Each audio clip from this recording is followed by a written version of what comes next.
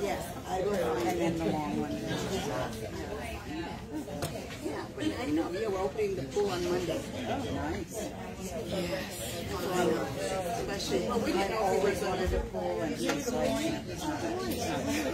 Well, I said, well, now I want, now I want a pool. Good morning, everybody. Good morning. Morning with a pool boy. You'll notice that I am a little taller than Marcia. She is, she is in uh, North Carolina, so I told her that I would lead our praise songs today. So we are going to start in the little black hymnal with 2016. That is Glorify Thy Name. We're going to sing two, two verses of this, and remember to smile, because Marcia can, can you know, watch online. Not that she can see you, but she can see me looking at you and see if we're smiling.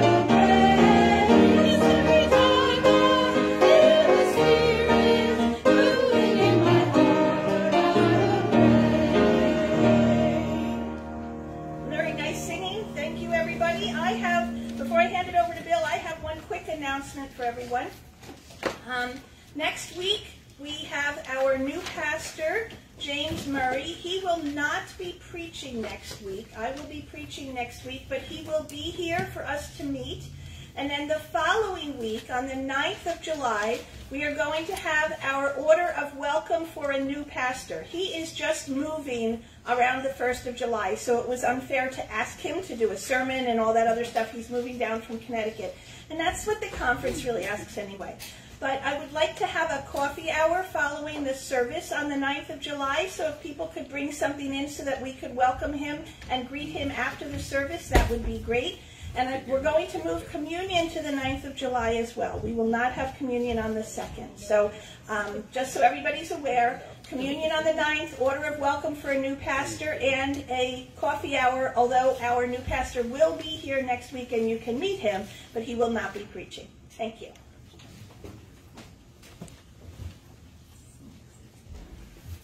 Are there any other announcements? If you haven't got your money for the trip, give it to me, or at least give me your, your, uh, paper that tells me you're coming, because we're just on the verge of not going. So we need a, we need a few more people to, to come. Okay. Any other announcements? Okay. Okay, please stand as you are able and join me in the responsive call to worship found in the front of your bulletin. In the name of love, we have come. In the name of love, we are here, And in the name of love, we will go. Knowing in our hearts and in our souls that what we have experienced is truly divine. Please remain standing and turn to hymn 111 in the red hymnal, and we will sing verses 1, 3, and 4 of How Can We Name a Love?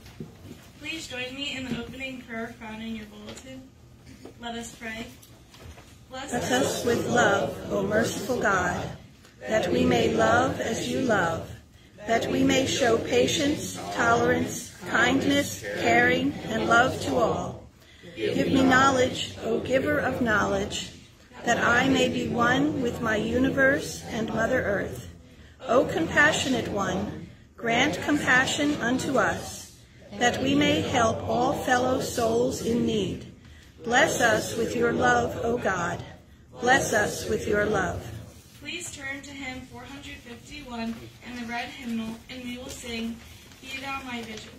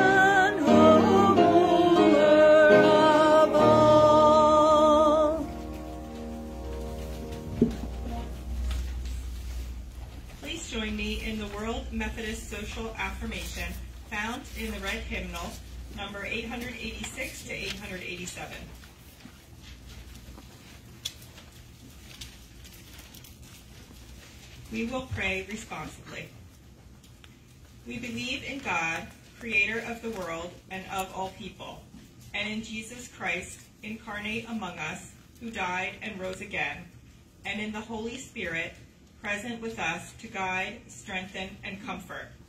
We believe. God, help our unbelief.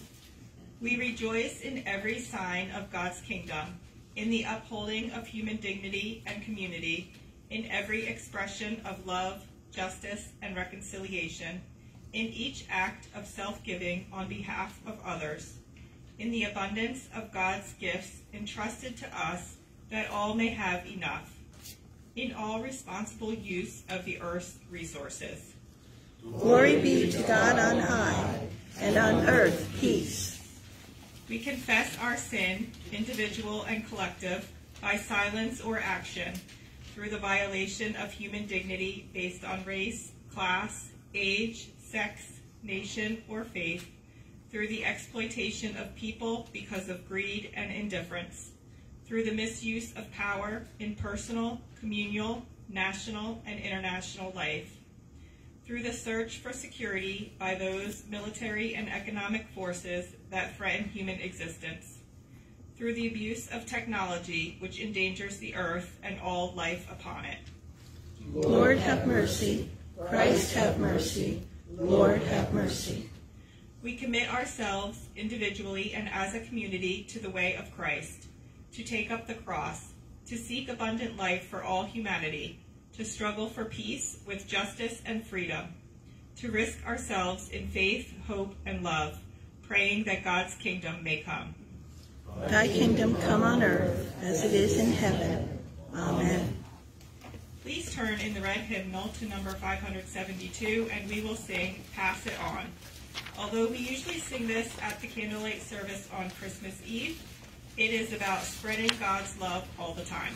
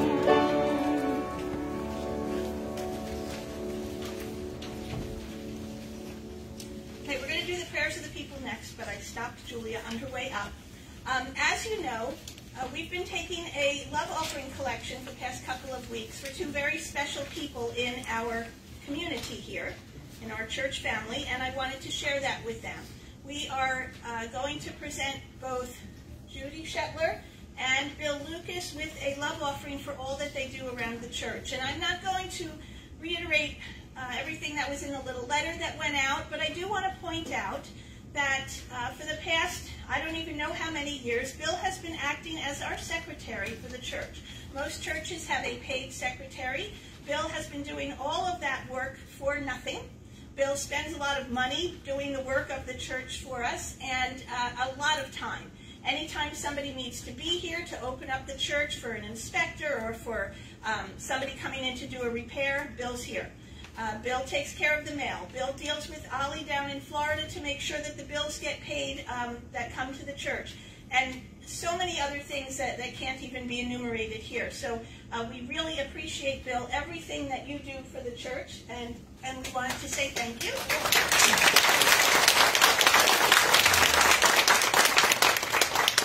And uh, you all know Judy, and you hear her beautiful music every week, but um, I wanted to let you know that the majority of our choir music is written for four parts, four voice parts, bass and tenor, which are men's parts, and think about that for a second, and alto and soprano. So Judy spends a considerable amount of time taking our church music, our choir music home, listening to all of it by playing it, so she's got to play through all of it, and then determining if our choir that is made up of just women right now can actually sing the song. And then she has to go through the tedious uh, uh, problem of figuring out what voice parts are going to cover the men's parts of the songs and things like that. Now, you probably didn't even notice when we were singing these songs that they were missing men's voices and stuff because Judy has done such an excellent job. In addition to all of that extra time that needs to be taken when you have a choir of just two voice parts, Judy has also been directing us since John left us. And um, well, we were very sad to see John go, and, and but happy for him that he got that new position. We didn't replace John, so Judy has taken up both director and accompanist ma- mantles. So we wanted to thank her as well with our love offering for all the extra time she's been putting in. and a marvelous job. So we really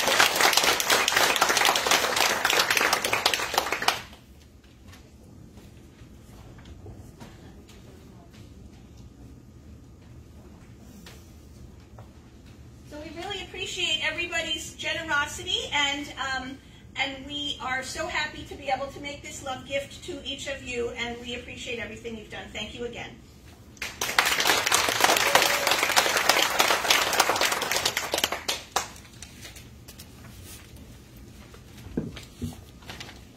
Please join me in the prayers of the people found in your bulletin. Let us pray. Our prayer today is for all who are victims of cruel laws and petty laws, those who are subjected to prejudice, denied opportunities, excluded, pushed to margins. The Lord our God is one. We will love with all our heart, all our soul, all our strength. Our prayer today is for all those who are betrayed, who don't know loyalty, who fear to trust or to love, and who don't realize that they are already loved by you. The Lord our God is one. We will love with all our heart, all our soul, all our strength. Our prayer today is for the landless and homeless, the refugee and evicted, those who find themselves in foreign places and strange places. The Lord our God is one. We will love with all our heart, all our soul, all our strength. Our prayer today is for the overworked and the underpaid, for those in dangerous work and those in compassionate work, for those who long to work but are denied the opportunity. The Lord our God is one. We will love with all our heart, all our soul, all our strength. Our prayer today is for the church, for all the branches of the vine, including this one we gather as part of today. Body of Christ, people of Christ, for whom the Lord our, our God is one. We will love with all our heart, all our soul, all our strength. Our prayer today is for the creation gifts, this earth in all its mighty wonder, yet tender fragility, the gifts of life and resources to treasure. The Lord our God is one. We will love with all our heart, all our soul, all our strength. The Lord our God is one.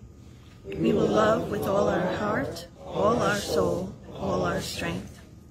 For the special needs and concerns of this congregation, we pray for Evelyn Kraft, Phyllis Fife, Tammy Tomer, Traveling Mercies, The Antis family. Lord, in your mercy. hear our prayer. And now let us pray with the words that Jesus taught us say. Our Father, who art in heaven, hallowed be thy name. Thy kingdom come, thy will be done, on earth as it is in heaven. Give us this day our daily bread, and forgive us our trespasses, as we forgive those who trespass against us. And lead us not into temptation, but deliver us from evil. For thine is the kingdom, and the power, and the glory forever. Amen.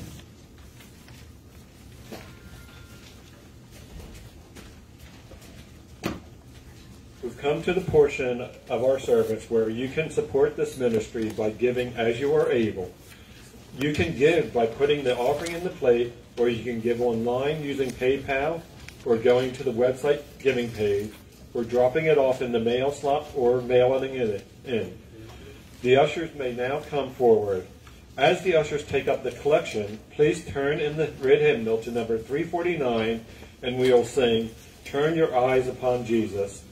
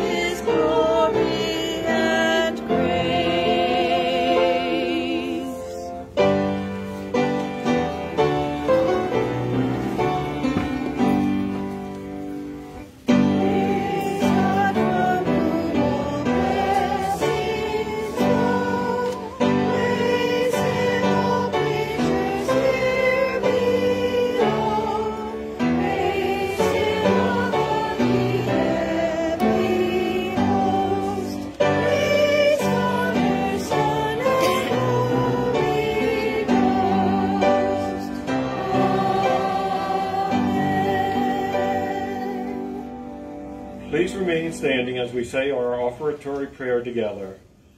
Generous God, Creator, Redeemer, Sustainer, at your table we present this money, symbol of the work you have given us to do. Use it, use us, in the service of your world, to the glory of your name. Amen. You may be seated. Please turn to hymn 601 in the red hymnal and we will sing, Thy word is a lamp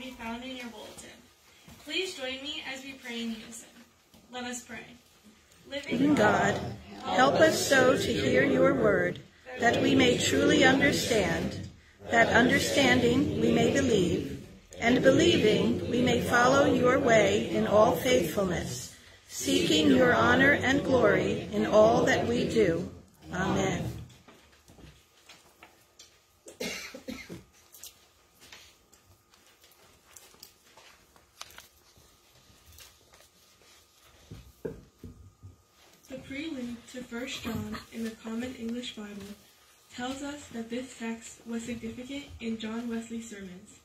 For Wesley, those who continually dwell in God's life, spirit, and grace, and who respond to these gifts of God with continuous praise, love, and prayer will not voluntarily transgress any commandment, commandment of God. Let us listen for the word of God as it comes to us from 1 John chapter 4. Beloved, let us love one another because love is from God.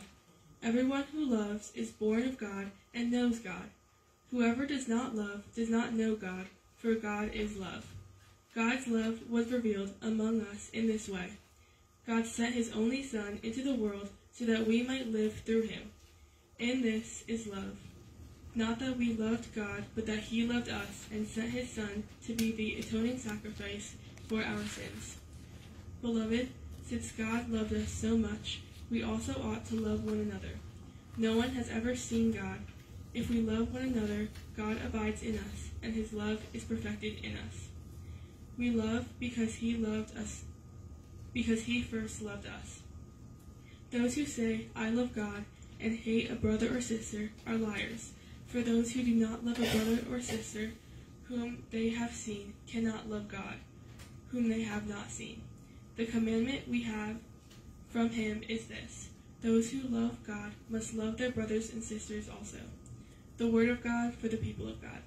Thanks be to God. Now, Bill will bring his message. Let us love one another.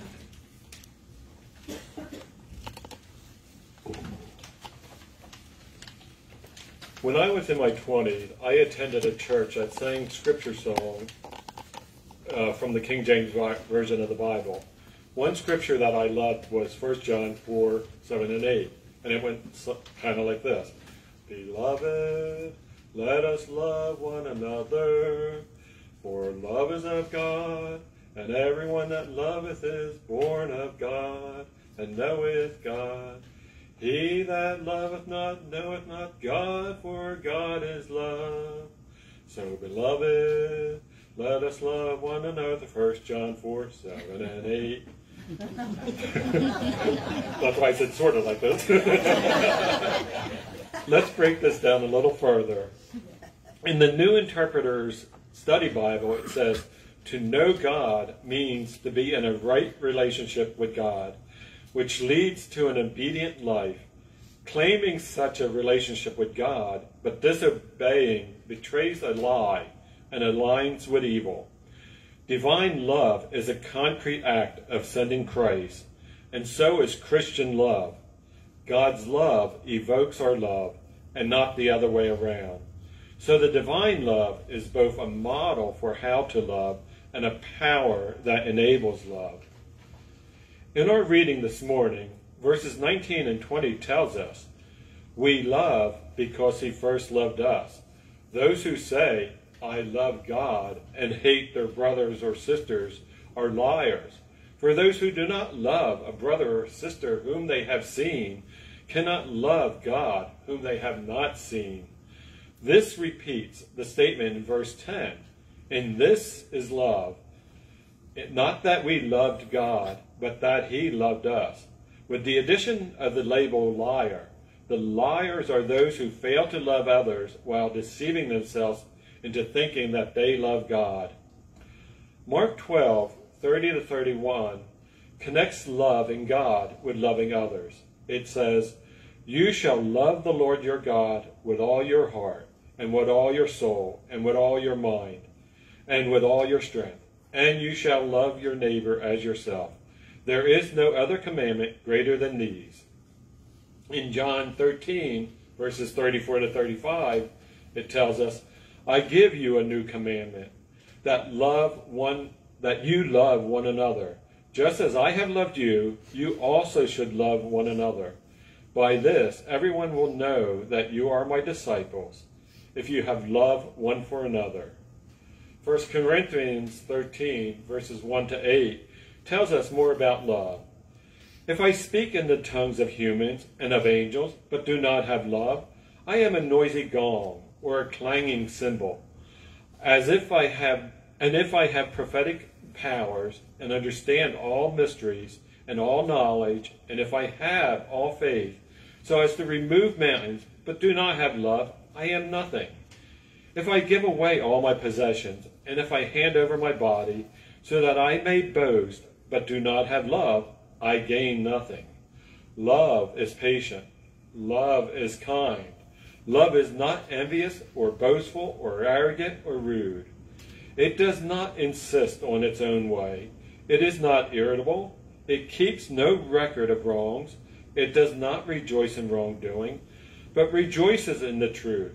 It bears all things, believes all things, hopes all things, endures all things. Love never ends. David Gushee, senior columnist for Baptist News Global, wrote in an article, Christianity Without Love, that a fellow pastor, Zach Lambert in Austin, Texas, tweeted a quote of Mr. Gushee's from his book, Changing Our Mind. And although there was much support for this pastor's followers, the pushback from other Christians was rabid. The quote was, Better is one day in the company of those bullied by Christians, but loved by Jesus, than thousands in the company of those wielding Scripture to harm the weak and defenseless. Mr. Gushee wrote, It's not so much the disagreement, hey, I'm used to disagreement. It's the hatefulness, the snarling spirit, the macho posturing, the aggressiveness that is so shocking. I gather that such feedback is part of Zach's daily bread. I am grateful it is not generally part of mine. Mr. Gushee continued, Jack is a Zach is a generation younger than I am. His Twitter feed is full of this kind of Christian vitriol. He does not appear to be surprised any longer. But I am still surprised because I thought Christianity had certain guardrails. But then, of course, it struck me. What would this religious tradition called Christianity look like if its adherents were no longer taught the centrality of love? What if they were being discipled into a different ethic, a different vision of what it means to be a Christian? What would Christianity without love look like if believers had been fed a loveless version of Christianity for a generation or more? It would look like the comments on Zach's feeds and a hundred other feeds.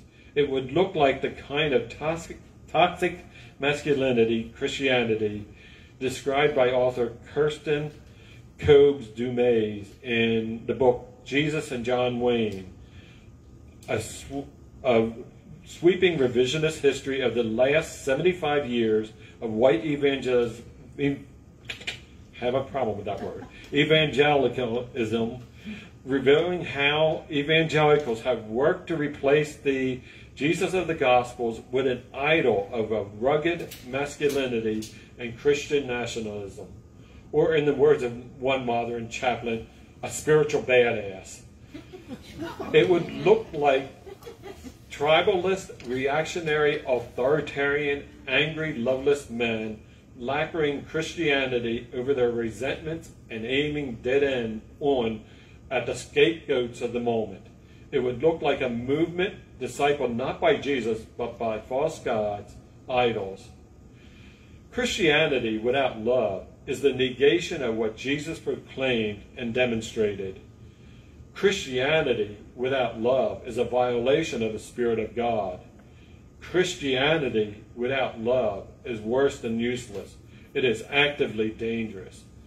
Mr. Gushee concluded with I ask today's Christian preachers, teachers, and parents whether you are teaching the religion that Jesus taught or if you are actively, explicitly, oh, and if you are actively, explicitly, urgently resisting this unholy other thing.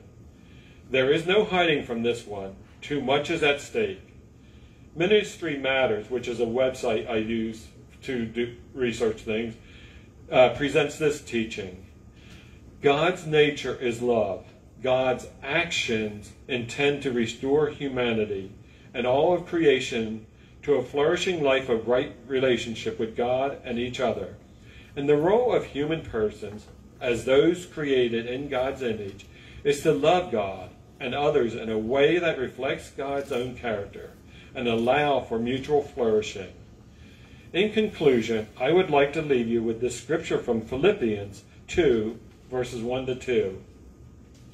Therefore, if you have any encouragement from being united with Christ, if any comfort from his love, if any common sharing in the Spirit, if any tenderness and compassion, then make my joy complete by being like minded, having the same love, being one in spirit and in, of one mind.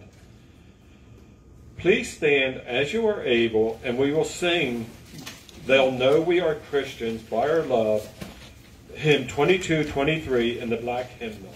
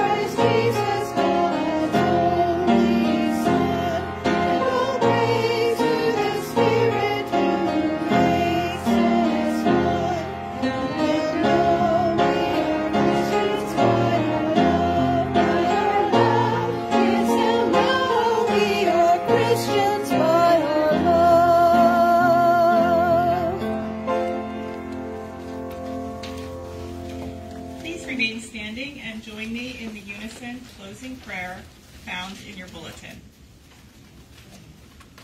Lord, Lord make, make me an instrument of thy peace. Where there is hatred, let me sow love. Where there is injury, pardon.